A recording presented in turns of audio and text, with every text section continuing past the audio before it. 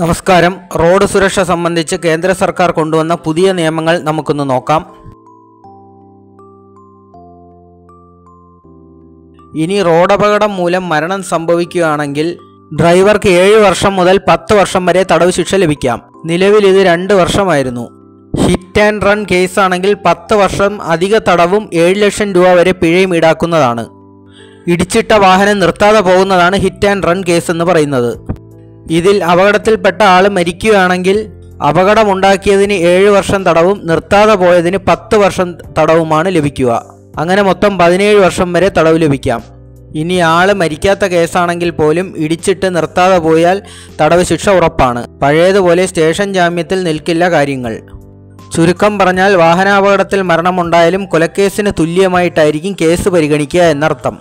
അതിനാൽ തന്നെ എല്ലാവരും ജാഗ്രത പാലിക്കുക. ഈ പുതിയ നിയമത്തിനെതിരെ ദില്ലിയിലെയും ഹരിയാനയിലെയും ട്രക്ക് ഡ്രൈവർമാർ സമരത്തിനിറങ്ങി.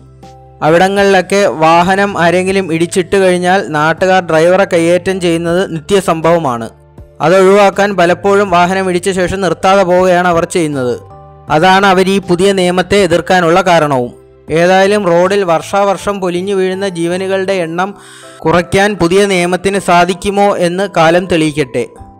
ഈ ഒരു വിവരം വാഹനം ഓടിക്കുന്ന പരമാവധി സുഹൃത്തുക്കളിലേക്ക് ഷെയർ ചെയ്തു കൊടുക്കുക. വീഡിയോ ഇഷ്ടമായവർ ലൈക്ക് ചെയ്യുകയും സബ്സ്ക്രൈബ് ചെയ്യുകയും ചെയ്യുക. നന്ദി.